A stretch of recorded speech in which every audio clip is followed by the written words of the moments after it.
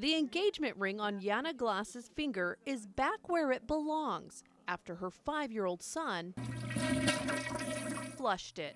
I turned to her and I said, Well, that's odd. Like, he never flushes the toilet. It was in the bathroom, it was shiny. He wanted to look at it, dropped it, and didn't want to tell us. It wasn't until hours later that he fessed up. Glass was able to locate the ring twice using a rented plumber's camera.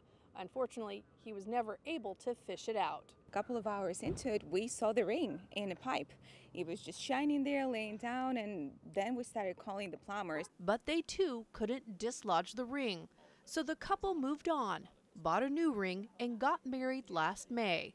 Two weeks ago, Tony Ochoa and Christopher Sembrano returned to the Glasses neighborhood to perform a routine maintenance on the sewer line. Chris, Chris, stop the water because I think the ring is there. No way, we found it. We're gonna give it back to him. He was so excited. The look on his face, it was unbelievable.